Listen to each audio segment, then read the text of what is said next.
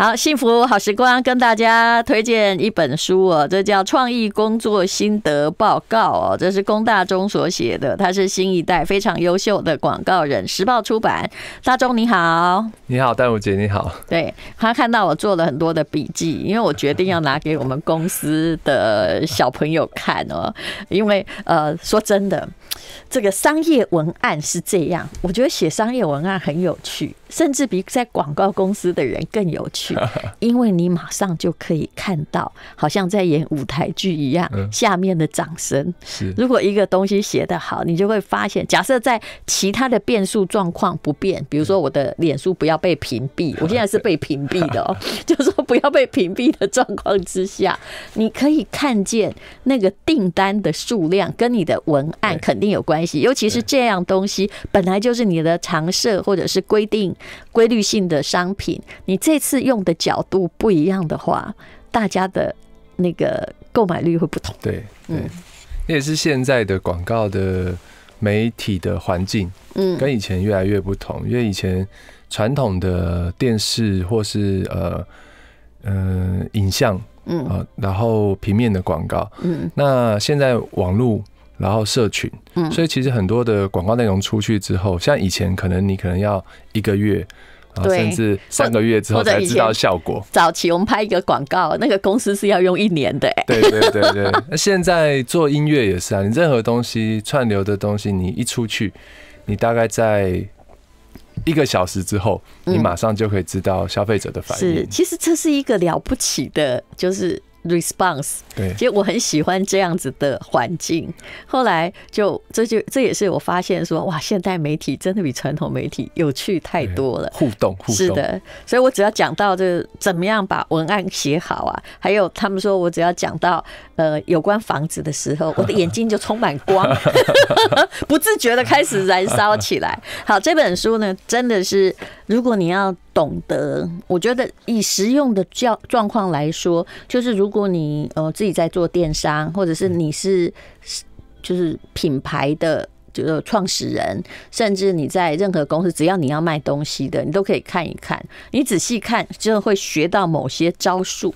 那你们先来说一下，龚大中成为广告人的那份病例好了，你为什么？会成为一个广告人，很少人像你这样，好像是从小有这个志愿。因为我我其实很小的时候，好像我妈妈讲了，就是小时候，呃，我只要看到电视上，那很久很久以前不是有那些什么大同啊，然后沙龙 pass 啊那些广告，然后有广告音乐，我只要电视广告一出来的时候，我就会站起来，然后看着电视，然后跟着唱，好像从小就对广告很有兴趣啊。嗯，那高中的时候开始。想要呃，你有没有想过这可也是某种病？因为你喜欢重复的东西。对对对对，可能可能，对啊。然后后来大学大学也念的广告系，嗯，然后福大的广告系，就是你一心的志愿就是要念广告。因为我可能想别的科系，比如说呃文组啊、社会组啊、那历史啊、国文要背东西，嗯，然后数学微积分，哦，这些商学商的要学微积分、统计，这些我都很不在行。后来想一想。看起来唯一能念的，好像也是广告系，嗯，所以话就是去念的广告系。所以你从小除了喜欢唱广告歌曲之外，看得出来是个有创意的人吗？你可不可以说个例子？应该还蛮有创意的吧？嗯，比如说，比如说，呃，好像还没有念小学的时候，嗯，然后在眷村的草眷村的广场，嗯，然后脱光衣服裸奔。做了呃，全全全眷村小孩没有人敢做的事情。为什么你要有一点理由啊？就是想要做跟人家不一样的事情。其实创意的本质就是要与众不同嘛。所以小时候就有这个与众不同的因子。对啊，但是后来结果很惨，嗯，结果很惨，被被被爸爸狠狠的修理，而且是当众修理。嗯，要修理给全眷村的人看，说这个是不对的行为。其实你很奇特啊，眷村的小孩基本上是比较一板一眼的。对不对？我现在从很多的人的模式，甚至来公司应征的同事，我都知道他是眷村小孩。嗯，那我们家刚好比较不一样，因为我爸爸本身他也是一个自由派，然后很叛逆的军人，所以很冲突啊。你爸爸的仕途混得好吗？就不太不太顺利啊，当然。好，这叛逆军人听起来就是韩剧连续剧里面常常喜欢的主角，也就是他跟别人不一样。因为如果一样，大家演什么呢？啊啊，对，刚刚讲到那个履历，履历是后来我去要 interview 广告公司要应征的时候，我觉得这个很酷。我写了一个病呃履历表，然后写的很糟糕，被我爸爸看到。嗯，那身为这个自由派叛逆的人，他就说你这履历写的非常普通，很平庸，很一般，叫我要不要再想一想。后来我想说，对啊，我要去做广告，我的自己的履历也应该要有创意嘛。因为你的履历表，就广告人来讲，你的履历表其实就是你的作品啊，它就是一个广告，在推销你嘛。后来我就把我的履历做成了呃精神病院的病例，嗯，我去考究精神病院病例的那个格式怎么写？你说，我就把我自己，因为我是双子座嘛，嗯，那本来就有一点。双重人格啊，那当时很流行那个二十四个比例，那个人格分裂的这个议题。听说每一个后来考心理系的都是二十四个比例，还有什么有没有？对，还有另外一本。所以我就把自己写成是呃呃三个双三个人格，那一个是叫龚大中，一个叫龚三四，另外一个还有帮帮忙写这个推荐信、履历推荐信的。病例推荐信的那个精神病院的院长，嗯，叫龚宏忠，嗯，然后三个人在那边自说自唱演了一一一出病例，那因为那个病例做的很像，是，所以呃，我当时说外表也像吗？整个外表就是整个就非常模拟病例，哇，好聪明哦！然后当时不一样嘛，对，当时就时间广，我丢了时间广告公司，嗯，那完全没有工作经验的我，嗯，竟然得到呃六个 interview 的机会，对，所以你爸爸真是你人生的。贵人，他完全知道广告公司不需要一个 平凡的履历。嗯，好，我以后哈，我通常在写履历的时候，就是我要去考某个学校的时候，我下次也这么试试看。好，那么呃，后来就很如愿的，这么多人录取你，好困扰，怎么办呢？后来是有两三呃，我觉得履历是让你有机会。可以进入这个这个这个行业，然后那六个呃 interview 的机会，有拿到了两三个 offer，后来啊就选择了我现在服务的公司奥美台湾奥美，嗯，然后从呃文案，这就是大家想要一步登天的那个公司啊，就是名气有蛮大的公司。是，然后那我从文案到现在，其实我在。奥美工作，我跟一般的广告创业人也不大一样，大家可能会换公司啊，跳槽啊。那我在澳美现在待了 二十二年，从第一个工作一直到现在。其实你这个人对于事业前途没有什么野心，对不对？没有什么野心。我看到那种会待二十二年的，也就是说，哎，看起来他很有创意，但是他私底下也还是个乖乖牌。只要让他哈好好的，就是有饭吃，然后可以做他的工作，有快乐就好了。创作环境，然后可以创作，然后。做作品，然后就对创业的人来讲就是很快乐的事情，对我来说也是啊。我觉得他看起来很小，通常你觉得一个其实年纪不小的看起来很小，基本上就是因为你自己老。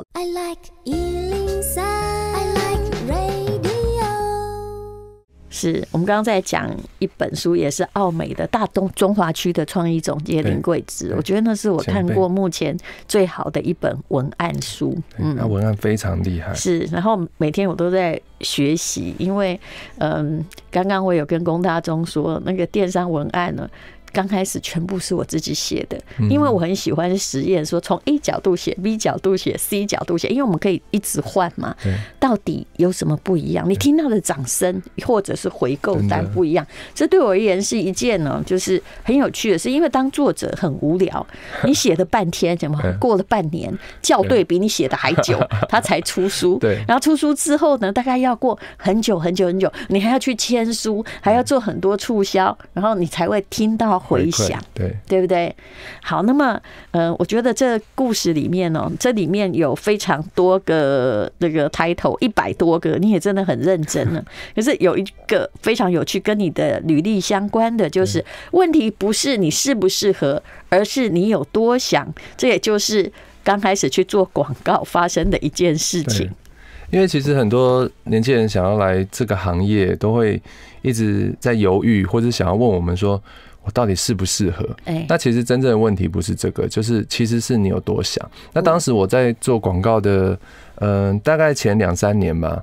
那大家也知道，广告公司就是，呃。钱少事多，离家远，然后每天非常辛苦，然后然后妈妈说好像把是因为不够有钱，就是因为很难 很因为很难回家，对，真的是心理距离的了解了解，对对对，不然我知道你们公司在哪里，对对对，然后然后妈妈都说自己说我把家里当旅馆这样，然后呢也看我那边跌跌撞撞，工作很辛苦啊，可是你很喜欢吧？很开心啊，就乐在其中啊，然后可以一进入一个案。我可我甚至我有三天没回家，嗯，然后我就一个礼拜每天就所有朋人都联络不到我，就在想 idea。那奥美需要比稿吗？以你们公司这么大，应该已经需要还是一样，对不对？对啊，尤其是嗯这几年竞争很激烈，比稿的次数更频繁。嗯，我以为那个只要就是要找到奥美，意思就是不比稿，但客户有否定权就是那欢迎如果有好的客户想要比稿，可以找我们。那那当时其实妈妈就很担心我，嗯，然后呢，然后当时我妈妈生病，嗯，然后朋友就说要带她去关西，好给一个摸骨神算，然后看看她未来的运势啊。结果妈妈去的时候，她完全都没有在问自己的事情，她是关心小孩嘛，嗯。所以她就问那个摸骨神算，是问我的事情，把你的命盘拿去，对对对，然后问我的事情这样，结果后来。呃，而且那个那个神算问了要展现自己的这种啊准确度，他非常有信心，所以还叫我们现场录音。所以妈妈回来是把模糊神算录音放给我听。好，然后那妈妈是问他说：“我这个儿子这样做广告 OK 吗？”这样，后来模糊神算的回答是：“嗯，你叫他趁早死了这个心。他如果做广告会。”一事无成，而且很清楚，就是“一事无成”这四个字。那我听到的时候，那时候刚入行嘛，也是跌跌撞撞，然后每天对未来有这么多的不确定性。我听到这个，其实我心里是非常非常的害怕。嗯，后来想一想，嗯，那我就喜欢呐。嗯，那我叫我去做别的，我也不知道我要做什么，所以我就硬着头皮继续做下去。我记得有一年的时候，后来我呃，大概五年前吧，我拿了一个。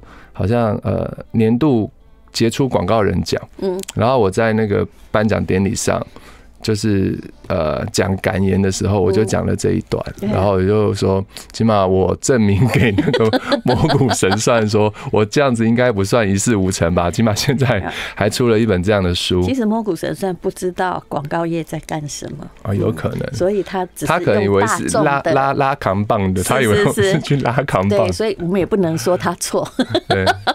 那么，可是你这里讲到你爸爸有没有？就是你爸爸其实是在安慰你的。我爸很有趣。对啊，那除了那个履历事件，然后这一件事，我爸也知道说摸骨神算论定我做广告一事无成，然后我爸就来跟我讲了一个他的故事，嗯，那就是他他他是军人嘛，然后他当不知道是中校还是上校的时候，他有被人家带去，也是关系，嗯，也是一个摸骨神算，而且还据说。就是他们这种人可能都很会，也会帮自己做广告。就是据说曾经帮蒋经国摸骨，我知道，对对对，关系好像蛮多摸骨神算吧，对对？对对。然后那他他呃帮我爸爸摸骨，然后看他未来的官途仕途，嗯，然后结果他跟我爸爸说，呃那时候他中校还是上校，跟我爸爸说，你不会升将军，你这辈子，那如果。后面那个那句更狠，如果你升了将军的话，你就会死于非命。我的妈！那 我爸说，那听了之后多紧张。问你，你爸是什么军？后来我我爸是陆军啊。哦。后来我爸升了将军，嗯，升了将军的时候还会害怕哦，还害怕死于非命嘛。后来大概过了，我以为他是空军，他听到这种字，然后来判断这样子，你知道？后来他后来大概过了一年之后，哎，发现自己还健在。他说他很想去贬那个。蒙古神算，你爸爸很有趣，他用这个故事鼓励我。可是他的仕途看起来蛮如意的嘛。对，不过小挫折一定有啦。如果他的个性是就是卓尔不群的那个样子，可是你说，而且活到快九十岁，可是问题是去算了之后，每天都在担心自己死于非命。嗯，我妈也把我的八字拿给什么有名的算命讲，嗯她说他们说我最适合当小学老师。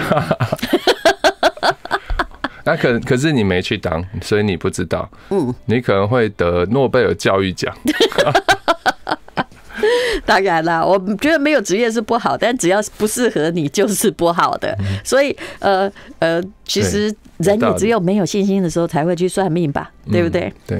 好，那你们就开始里面呢还有一题，我觉得看了这个很好笑。它的每一个总共有一百多个这个 title 里面都很简短哦，而且都很有趣，叫没有作品不会自己做吗？呃，所以这又是什么样一个故事呢？因为其实很多呃，在广告去广告公司应征呢，他想要想要从事创意工作，他必须要有所谓作品集，对，那人家才能知道说哦，你过去做过什么东西啊，你创意厉不厉害？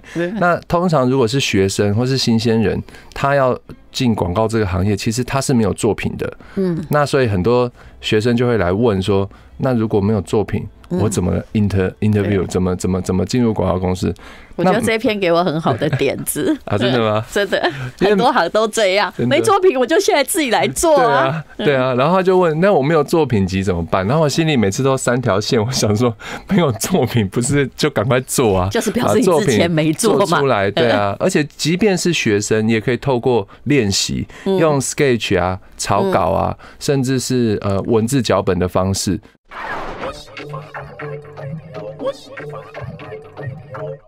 幸福好时光，我只是送给他两包咖啡而已。呃，跟他们说，那个咖啡上面的封面是我画的，为什么呢？因为我从小其实一直很喜欢画图，但没有人要让我念美术系。后来呢，因为老大爷年纪老大，看在为，所以我就自己做。嗯，好，刚刚我们就在讲的，就是说没作品不会自己做吗？对不对？就这样啊，就开始做啊。对，那而且。嗯，我我在写这篇的时候，我也呃举了一个例子，就是呃广告界的前辈有一位叫 David 巩，就是呃啊跟我同姓。我看了半天，我还以为那个人是你啊，不是叫 David 龚啊，龚有成，他是一个非常呃跟孙大伟很熟的一个广告圈的一个前辈，是。他是个导演。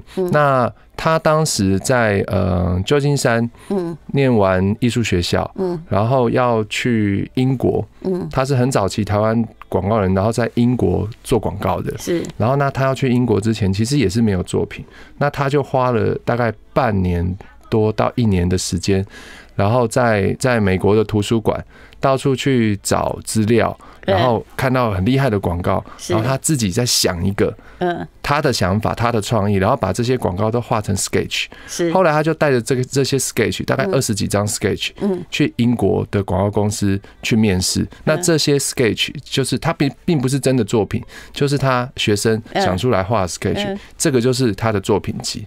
而且那个作品集，因为他很怕说他画的太好哈，就像淡如姐要隐藏那个画画功力一样，他画的太好哈，就这样而已。他怕人家，他怕人家会叫他画脚本，嗯，去变成不能想创意画，还故意画很丑。他真的心机挺深，所以他就带那个很丑、画的很丑的东西去，结果画很丑一样。他只要他 idea 够好，他还是得到了这个工作的机会。那我自己在找工作的时候，其实也有这个过程。我学生的作品之外，我后来其实我记得我在 interview 的时候，interview 我人在跟我讨论的，其实都是我那后面几张就有画的很丑的东西。嗯，就因为很我很不会画画，那我画的很丑的一些 sketch 的 idea，反而是大家讨论最多的东西。其实，所以我就在鼓励这些学生说：，如果你想真的想要做广告，真的想要进入这个行业，没有作品没关系，现在开始你就动手，就现在做一个啊！你每个礼拜想一个。你一你一年就就就五十二个，嗯，对不对？然后而且你从五十二个里面，你只要挑最好的十个，嗯，你就有你就有很厉害的作品集，嗯。是，所以你不用害怕说之前没有受到肯定，那就现在开始嘛。对，那个实做的功夫，事实上对每一个人都是很重要的啊。而且你说真的啦，其实大家也不想要看你之前得过什么奖啊，现在什么奖啊。对我而言，尤其是食品方面，都是买的，对不对？那好不好吃是比较重要啊？怎么样？没有没有笑嘞没有没有，还奖还是有公正的，还是有蛮多奖是公正的。好，那么来那。人要有理想，品牌要有大理想啊。好，这个这篇我也蛮喜欢的。来，你来讲一下你的观念吧。其实，如果说要本来像写工具书的话，这个应该是里面很重要的一章。对，因为因为其实呃，我讲品牌大理想其实是奥美我们全球的这个行销的系统里头，我们的一个算是我们的一个工具。嗯，那那其实呃，用品牌其实我们讲经营品牌其实就是人嘛。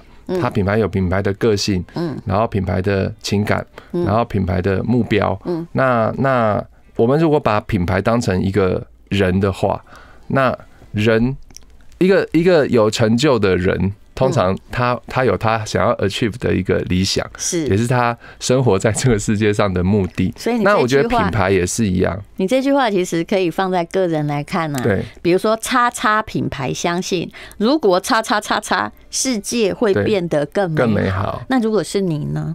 我你相信什么？我大众相信，如果可以用呃创意的力量，然后呃帮助人。嗯，啊，世界会变得更美好啊！这是我的我个人的呃大众小理想。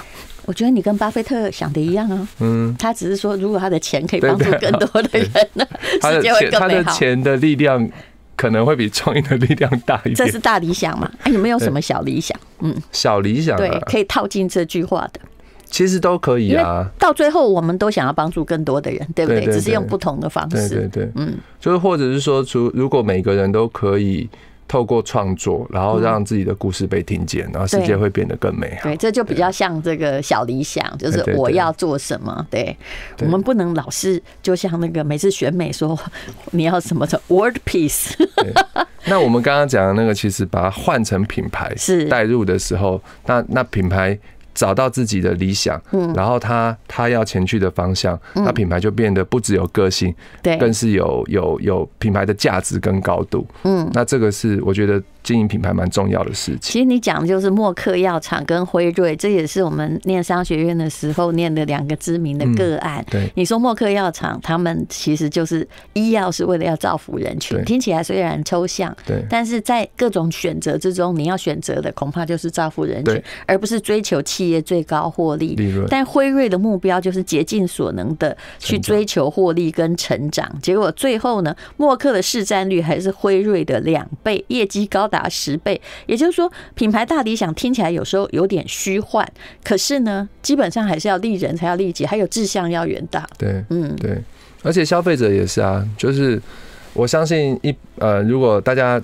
同样几个品牌摆在你面前，你应该会去挑选，或是喜欢那个有想法、有理想，然后呃有目标的品牌吧。如果它表里合一的话，对，如果嗯，这没错。所以 品牌大理想就是你找到理想之后，你要表里合一，是你要深化内化为整个企业大家嗯。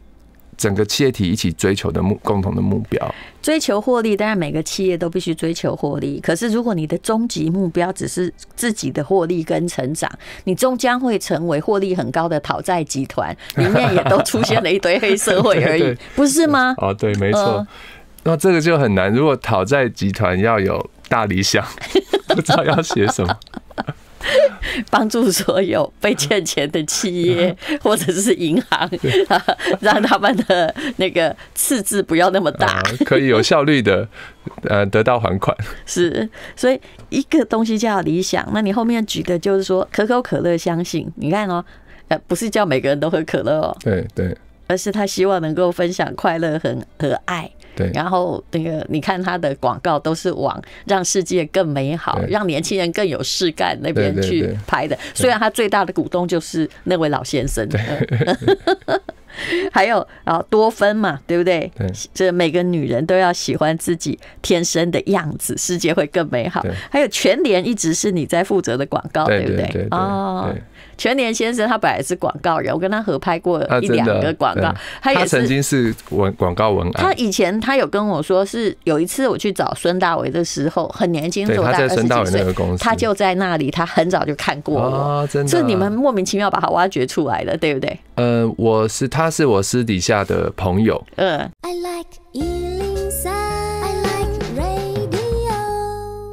幸福好时光，他刚刚讲全联董事长非常聪明，我相信，我真的觉得他是了不起的人物，超级厉害的，在商业策略的选择上，还有呃攻城略地哦，他有他的逻辑，所以我后来在发现说，为什么那么喜欢商学院，就是我看到成功的人一定有他的策略，对，嗯，就好像他会找到他的摩尔定律这样子，对对，你光是他跟我们一起。参与我们这个广告创作的过程，他挑选创意的方法，就觉得哇，这个董事长真的非常聪明，非常有见地。他其实只有按住某个原则嘛，就是要让大家用最便宜的价格买到最好东西，这也是 Amazon 的原则啊。那是他，那是他的理念。嗯，对。然后，然后，那他有他挑广告的时候只挑一个东西，他挑说哦，街舞嘎把郎给博刚啊，就是你要与众不同。是，但是有一阵子我们会觉得他东西是怂又有力，对不对？可是你记住了，对吧？对。那全联先生也因为你就开拓了他的星途，对不对？他本来听说那段时间在失业，在冲浪。对对对，他本来是广告公司的文案，嗯呃，啊，他是文案，对对对对，然后可能。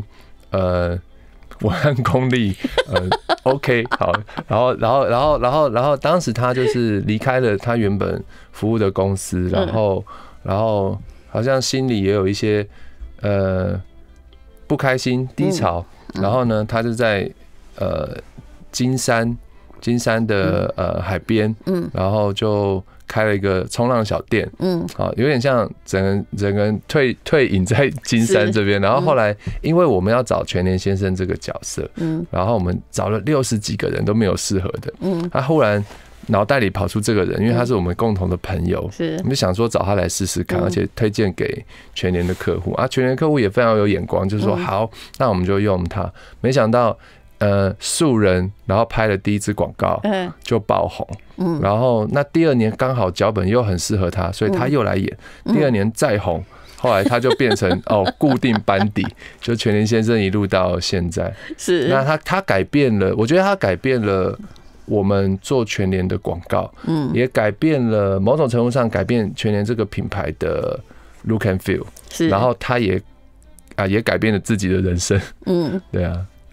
好，所以其实每一个人的路都是意外的组成。对，如果你一直都是。人生都在你意料之内的话，那就很显然对，不但无聊，而且显现出你并没有做太多努力，不是吗？对，嗯，好，那你也讲说最大的问题可能就是没有问题，这是要教大家怎么样的去写广告的一个方式，你来说一下。其实，其实，其实广告，大家我们常常在想说，哦，那我今天到底要从哪边下手？我的创意要从哪边进去，或者说我的文案要从哪个点落下去？嗯，但是重点是你要先回到，就是所有的，尤其是广告创意啊，嗯，或者是说我们大部分的创作，所谓的创意这件事情，都是用来解决问题，嗯，解决某个呃，不管是商业的课题，或者是或者是生活的问题，你知道，像比如说，呃，有人讲这个也是创意哦，就是 Discovery 那个哦，动物星球频道里头，比如说那个大猩猩啊，嗯，他想要吃那个树洞里头的的蚂蚁。嗯，好，可是他吃不到。